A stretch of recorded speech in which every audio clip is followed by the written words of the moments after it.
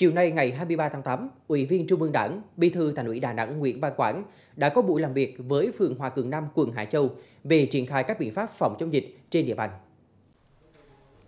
Tính đến nay 23 tháng 8, phường Hòa Cường Nam đã ghi nhận 158 ca mắc COVID-19 và nguy cơ vẫn rất cao bởi có ổ dịch phát sinh từ chợ đầu mối Hòa Cường.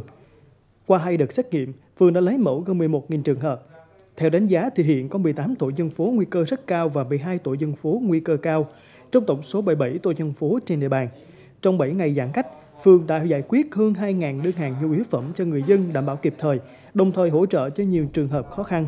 Kết luận buổi làm việc, Bí thư Thành ủy đánh giá cao sự vào cuộc của hệ thống chính trị địa phương cũng như sự đồng lòng của người dân, đồng thời lưu ý Hải Châu hiện là điểm nóng dịch bệnh mới, trong đó phường Hòa Cường Nam hiện đang nóng nhất. Qua đánh giá nguy cơ trên địa bàn, phường cần tập trung thực hiện tổng thể các biện pháp phòng chống dịch, nhất là nhanh chóng hoàn thành xét nghiệm đợt 3, lưu ý các vùng đỏ.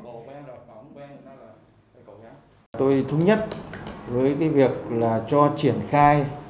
xét nghiệm 100% các cái hộ dân trong cái vùng đỏ này.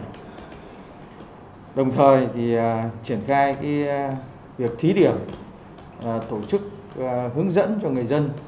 và phát cái test nhanh cho người dân để người dân tự test và chúng ta là người À, sẽ kiểm tra lại cái kết quả này để có một cái biện pháp cho nó phù hợp. Thì à,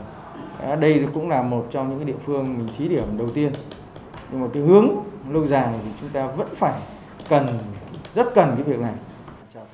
Bí thư Thành ủy cũng đề nghị phường tiếp tục thực hiện nghiêm siết chặt giãn cách, tập trung cung ứng nhu yếu phẩm cho người dân kịp thời, rà soát các trường hợp khó khăn để hỗ trợ đảm bảo đủ và đúng đối tượng. Bí thư Thành ủy chia sẻ khó khăn và đề nghị địa phương quan tâm hỗ trợ lực lượng phòng chống dịch tại cơ sở, nhất là ban điều hành tại khu dân cư. Đây là thời điểm quan trọng có tính chất quyết định, vì vậy cần tập trung ngăn chặn sớm đẩy lùi dịch bệnh.